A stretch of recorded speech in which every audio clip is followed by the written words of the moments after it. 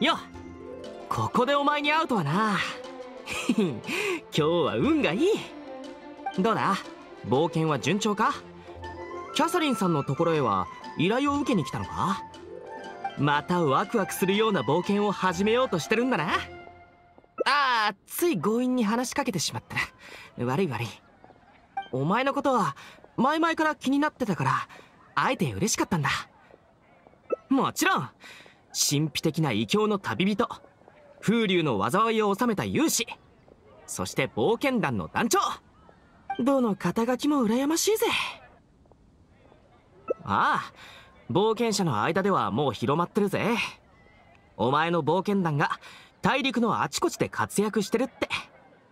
毎日何気ない依頼をこなしているように見えるが大事件が起こると必ず現れるだろう。とにかく俺はお前が羨ましいんだ。だって主人公みたいじゃないか。それに俺は運が悪くて冴えないし自分の冒険団だって。おっと何でもない。気になる人の前で何をメソメソしてんだ俺は。もっと有意義なことを話さないと。あのさもしよかったらだけど。えっと後で冒険に行くんだったら俺もついていっていいか？横で見てるだけにしとくから。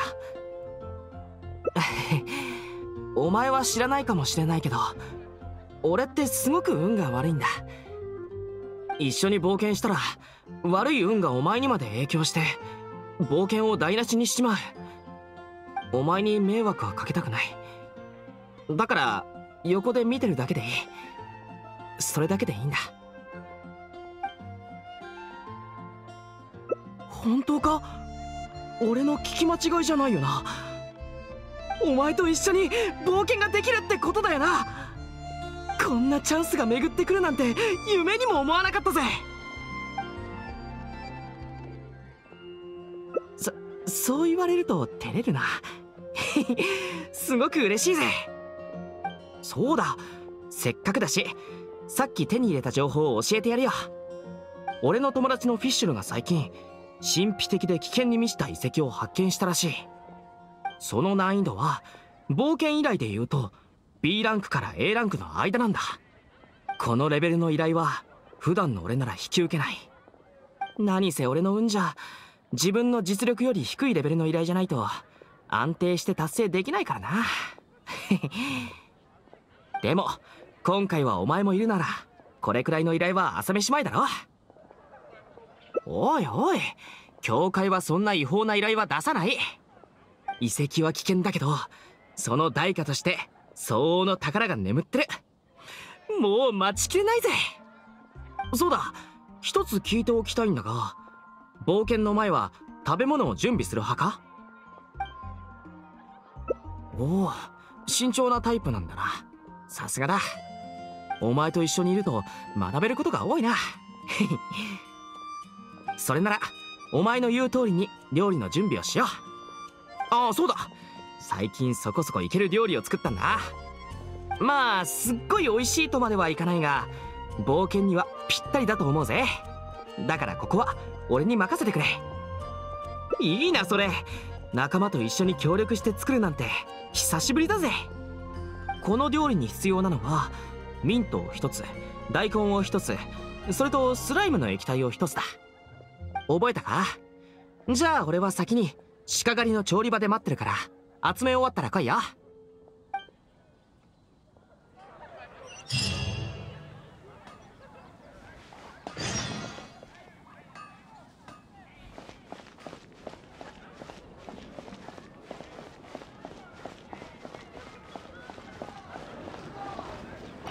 こんなに早く収集できたのか？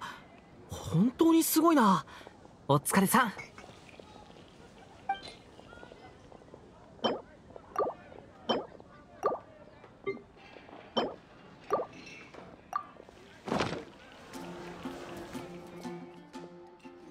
よし食材は揃った。あとは任せろ。料理は得意なんだ。できた。食材を入れる順番はあまり覚えてなかったけど。まあいいか。今包むからお前が持っててくれ。まずは遺跡に行こう。大丈夫だろう。多分俺が初めて作った時と同じように作ったから。うんきっと大丈夫なはず。食料も用意したし未知の遺跡に向かって出発しようぜ。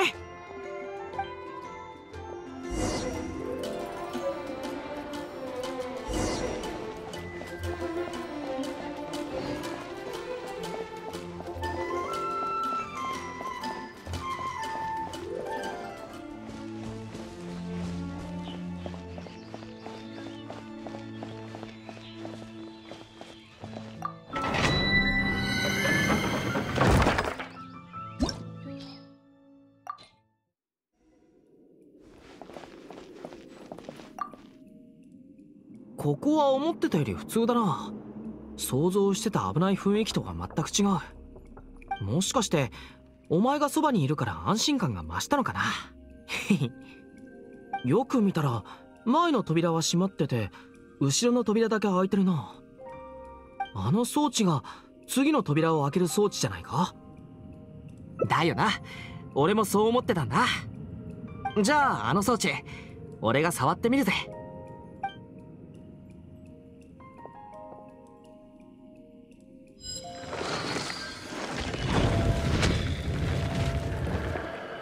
やっぱりな。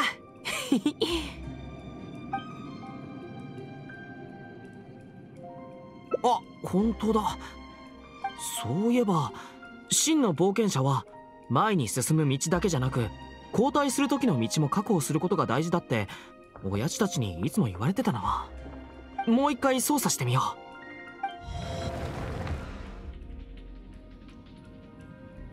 う。あれ？動かない。まあ現状は確かにそうだ。でも落ち込むことはない。こんなのいつものことさ。諦めなければなんとかなる。くそどういうことだ。おい今の聞こえたか？さっき開いた扉の向こうから声がしたぞ。まさか俺らの他にもこの遺跡に人がいるのか？早く行ってみよう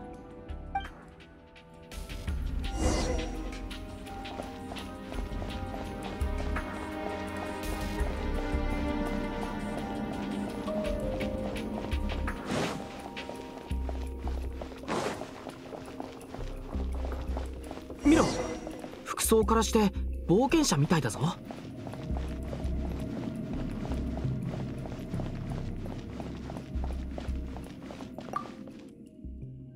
こんにちは。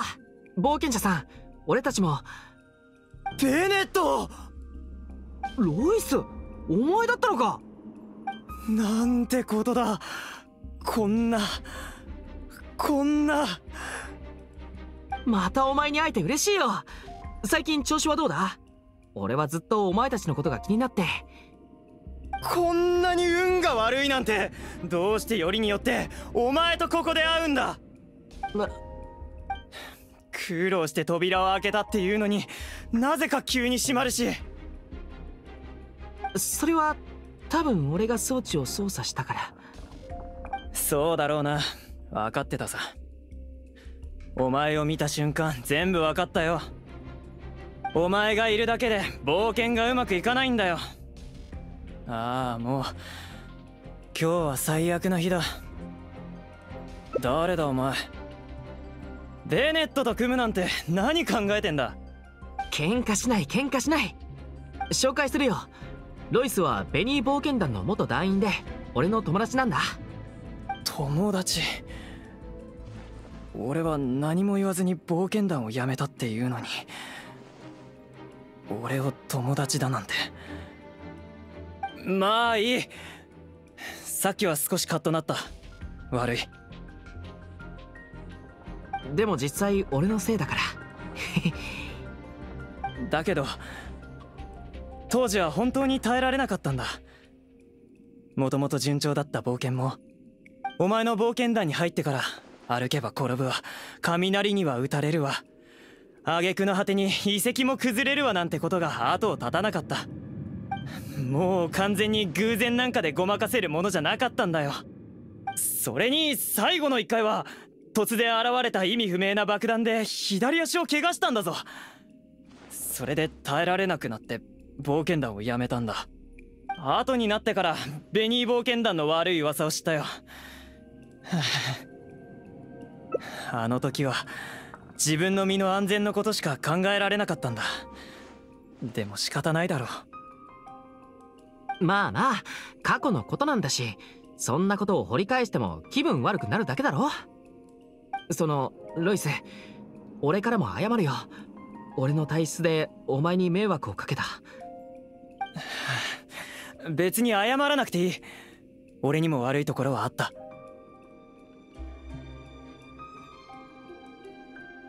そうだ。もう一つ言わなきゃいけないことがあるんだ。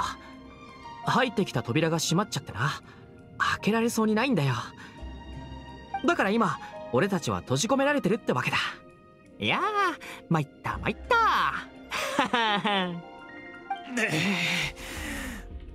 ベーネット！ああもうやっぱりお前と一緒にいるとろくなことがない。いいでも仕方ないじゃないか。ごめん。どうするんだよ。こっちはもう食料が尽きてるんだぞ。俺ロイスは今日お前のせいでここで死ぬんだ。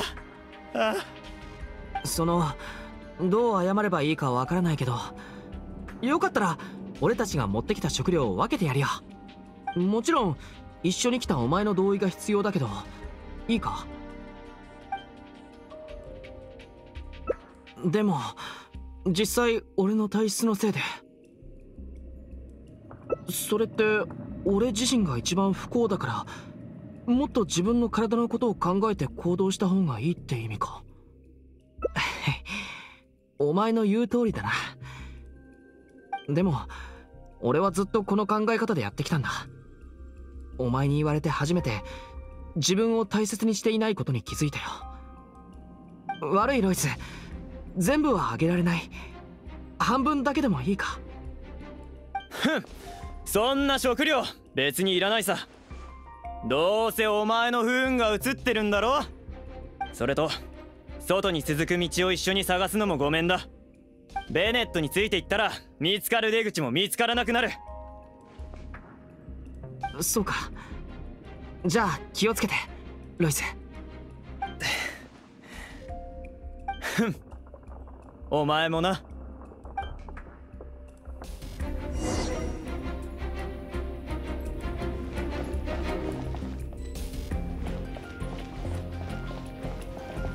うわ危ない！